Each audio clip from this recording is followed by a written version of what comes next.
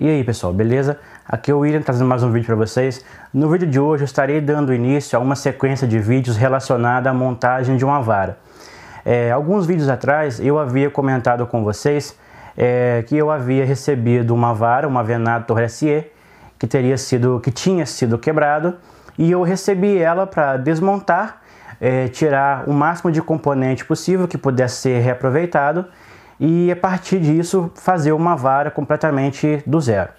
Para a montagem dessa vara, juntamente com o Maurílio, que é o dono da, da, da vara, é, nós escolhemos alguns materiais e eu vou mostrar para vocês aqui quais materiais serão utilizados para essa montagem.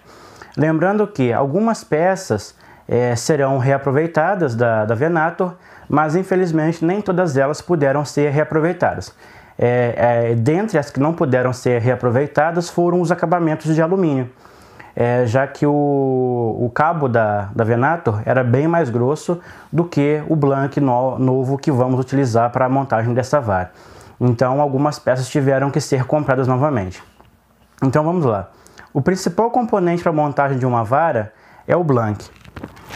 É, para essa montagem, nós escolhemos aqui um, um Blank de 14 libras é, de ação rápida. Esse Blank ele vem com um comprimento de, de 6,6 pés, ou seja, 6 pés e 6 polegadas, porém a vara que vamos fazer terá 6 pés, então o restante será excluído. É, além do, do, do Blank, nós tivemos que comprar mais algumas peças. Vou mostrar para vocês aqui agora. Entre elas está, estão os, os cabos, aqui no caso é um cabo em EVA bipartido. Tivemos que fazer a compra também do bootcap. Para quem não sabe o que é bootcap, essa peça fica no finalzinho do cabo. Essa peça que traz proteção para o pro, pro blank da, da vara. É, essa peça é composta por, no caso essa específico, por dois pedaços, um anel em alumínio e esse acabamento em borracha, que é quem dá uma segurança caso você bata a vara no, no chão ou em alguma superfície dura que possa danificar a sua vara. Também tivemos que fazer a compra é, de alguns acabamentos. É, no caso, essa peça específica é chamada de wind check. É, Para quem não sabe, trata-se desse anelzinho no caso, esse modelo aqui em específico é de, de plástico ABS. Os modelos originais da... Os acabamentos originais da Venator são em alumínio, mas nesse caso eu optei pelos acabamentos em, em plástico e todos eles são fabricados pela Fuji. Inclusive tem aqui, é, na parte de baixo aqui, tem um logo da Fuji estampado. Para quem não sabe qual a finalidade desse acabamento, é bem simples. Aqui temos o cabo e aqui o acabamento. Essa pecinha, ela vai ser colada nessa posição. Ou seja, para que o cabo não fique muito pelado, já que o blank sai aqui e essa, essa parte fica muito, muito limpa, a gente usa esse acabamento para dar um charme nessa parte do cabo. Além das peças que tiveram que ser compradas, eu consegui reaproveitar algumas. É, no caso aqui, uma delas é o Rio City, que é essa peça. Para quem não sabe o que é o Rio City, é essa peça é responsável pela fixação do, do molinete ou da carretilha. Essa em específico é para carretilha, como vocês podem ver, ela tem esse, esse pino, esse dente aqui para baixo. Ah, no caso de molinete, molinete não tem. Também podemos reaproveitar esse anel, que é responsável pelo acabamento entre o Rio City e o cabo. Basicamente, esse, esse, esse anel ele é posicionado nessa posição, nesse lugar. Após isso, basta encaixar o cabo nessa posição.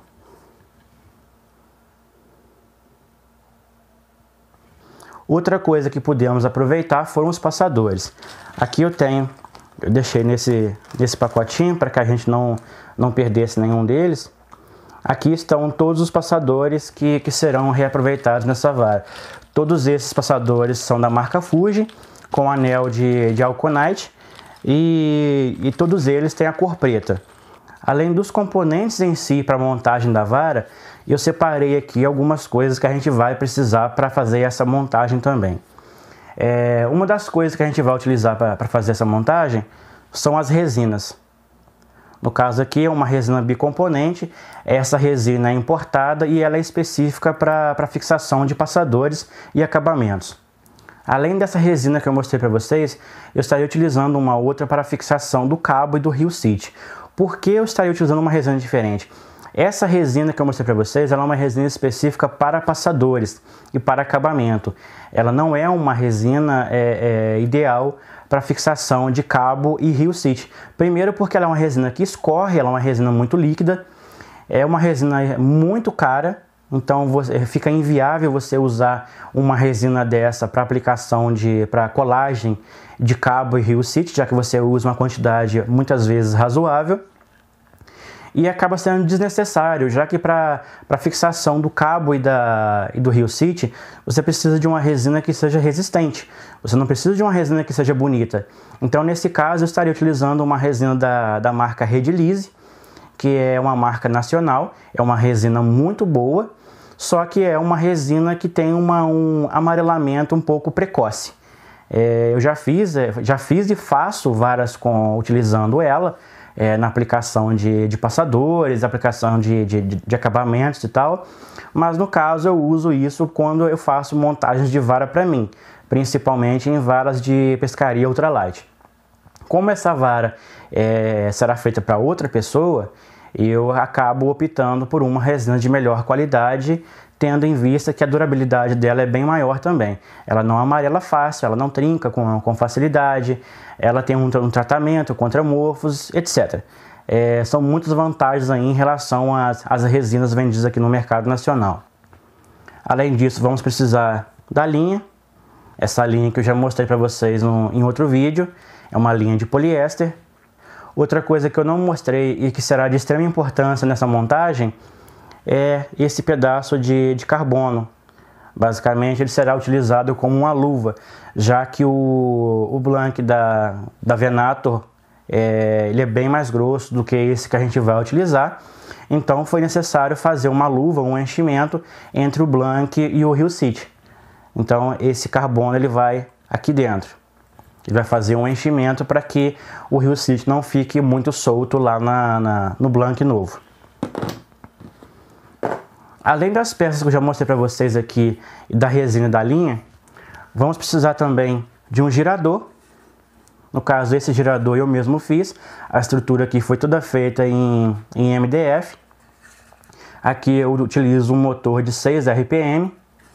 Aqui na parte de fixação da vara, essa peça foi feita em uma impressora 3D, eu mesmo fiz também. E aqui é onde será introduzida a ponta do, do, do cabo da vara é, a fixação fica por conta de elástico. Cada, cada pontinha dessa aqui é um elástico. Nesse orifício do meio aqui é onde será encaixado o, a pontinha do cabo para a vara girar. Além do girador, será necessário também o uso de dois suportes. Vejam que é uma estrutura semelhante à utilizada no, no gerador, também feita em MDF, porém aqui a gente tem esse corte com, com um carpete que nesse lugar será é, apoiada a vara durante a montagem, durante a amarração dos passadores e após isso, na hora que a gente for aplicar a resina e a vara precisar é, ficar girando, é isso aqui também que vai fazer esse, esse trabalho. Essa peça aqui no caso serão duas. Uma coisa muito importante deve ser levada em consideração na hora da montagem das varas, utilizando é, blanques de carbono tubular, no caso como esse, ele é um carbono oco, ele não é, é um carbono maciço, deve ser levado em consideração que um dos lados da parede da, da, do blank ela é um pouquinho mais grossa. E essa diferença geralmente é denominada como, como espinha. É muito interessante prestar atenção a esse detalhe e no caso, da, na hora da montagem, os passadores devem ser posicionados do mesmo lado dessa diferença. No caso, o lado, essa parte mais grossa do, do blank, ela deve ser posicionada para cima e os passadores devem ser posicionados sobre essa parte. Caso você monte a sua vara posicionando essa espinha para um lado ou para o outro da, da, da, da, vara, você pode perder é, precisão na hora do arremesso, você pode danificar a vara na hora de, de, do arremesso, você pode quebrar a vara durante a briga com o peixe também. E caso e a mesma coisa pode acontecer caso você posicione essa espinha para baixo, ou seja, do lado avesso do, do, dos passadores, passadores para cima e espinha para baixo. Então, é sempre interessante, é sempre, é praticamente obrigatório que, que a espinha seja posicionada para cima e os passadores sejam posicionados sobre a espinha. Além dos acessórios que eu mostrei para vocês aqui, é, necessários para a montagem da, da vara, a gente vai precisar de um pincel para aplicação da, da resina. É, leve em consideração que esse pincel vai ser perdido, mesmo que você lave ele depois, a, a resina ela ainda vai ficar um resíduo ali, ela vai acabar estragando um pincel. Então, de preferência, usa um pincel barato, um pincel descartável, de forma que você possa jogar ele fora depois sem, sem, sem muito prejuízo. É, outra coisa que a gente vai precisar é um, uma tesoura de ponta fina, uma tesoura de corte. É, pode ser uma tesoura de cortar unha, um alicate de cortar unha ou um alicate como esse, que é o que eu utilizo. Esse aqui é um alicate chamado de alicate de corte rente. Por que, que ele tem esse nome? Porque o corte é exatamente aonde você posiciona o alicate. Essa parte aqui onde é feito o corte, ela é chata e aonde você encosta o alicate será onde o alicate irá cortar. Eu geralmente utilizo esse tipo de alicate, é, até porque ele não não desfia a linha. Quando você aperta, ele corta tranquilo, sem, fazer força e deixa um acabamento perfeito. Eu havia comentado no começo do vídeo que eu estaria começando uma série de vídeos relacionada a essa montagem da vara.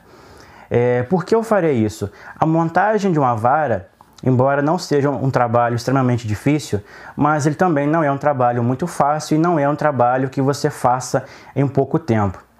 Existe o tempo de, de, de cura da, das resinas, exi, existe o tempo de, de trabalho para aplicação dos, dos passadores, o posicionamento, o alinhamento. Então, tudo isso exige um tempo relativamente alto. Então, por esse motivo, é, a montagem dessa vara será dividida em alguns vídeos, eu ainda não sei quantos, mas de acordo que eu for procedendo com a, com a montagem, eu estarei postando um vídeo de cada vez. Eu sempre tenho recebido perguntas relacionadas a onde eu compro material para montagem das varas. Então eu sempre respondo da seguinte forma: eu não tenho assim um lugar muito fixo aonde eu compro material. Eu compro aonde tem o que eu quero, aonde tem um, um bom atendimento, muitas vezes aonde tem um bom preço. E atualmente eu, eu tenho comprado em, em, duas lojas específicas. No, caro, no caso, a Amoro Fishing, que é localizada, se não me engano, no Paraná, e, a, e outra loja também que é a, Custom by Marco, que fica localizada em São Paulo. É, no caso, a Custom by Marco é uma loja que eu compro há mais tempo. É, eles têm uma, uma, uma quantidade, uma, uma, variedade de material muito boa. E recentemente eu vim conhecer a, a, a Moro Fishing e eu me surpreendi também com a qualidade do, do material que eles, que eles apresentam, a variedade. Eles trabalham só com, com, com marca top, então é, fica a dica para vocês aí. Lembrando que eu não sou patrocinado por nenhuma das lojas, tá? Tudo que eu mostrei aqui eu tive que comprar para fazer essa vara. E em relação à resina, essa resina que eu mostrei para vocês aqui é uma resina importada e a segunda resina que eu estarei utilizando é da marca Redilize. Também eles têm um site aí, eles, eles têm uma, uma variedade de produtos bem grande também. E também não sou patrocinado por eles, eu não ganhei a mercadoria, eu apenas estou falando aqui para vocês porque vocês sempre perguntam onde comprar o material. Outra coisa que eu gostaria de falar para vocês é em relação ao nosso sorteio. Gostaria de lembrar que ainda não batemos a, a, a meta que foi estipulada para a realização desse sorteio. É, ainda dá tempo, caso você ainda não se inscreveu no canal para participar desse sorteio, ainda dá tempo, então corre lá, se inscreva, comenta, participa aí que o brinde vai ser bem legal. E outra coisa que eu gostaria de falar também é que eu já tenho outros materiais é, preparados para a realização de outros sorteios. Eu não vou falar o que, não vou falar quando, porque tudo isso vai depender da participação de vocês, beleza? E para finalizar esse vídeo, eu gostaria de deixar aqui o meu muito obrigado a todos vocês. Obrigado a todos vocês que já se inscreveram no canal, obrigado a todos que, que comentam, a, a todos que que estão participando, a todos que deixam o seu like. Obrigado também a todos aqueles que ainda não se inscreveu, mas assistem os vídeos, que, que deixam o seu like no vídeo. E fazer um convite para aqueles que ainda não se inscreveu, que se inscrevam, porque isso é muito importante para mim, é muito importante para o canal. O crescimento do canal só depende de vocês. É, a qualidade do, do, do, nosso conteúdo ela é baseada na, na satisfação de vocês. Então, de acordo com a gente vê que o canal está crescendo, que vocês estão gostando, gostando do que está sendo apresentado, isso inspira a gente a fazer cada vez melhor e fazer cada vez mais. Então é isso. O meu muito obrigado a todos, um grande abraço e até a próxima.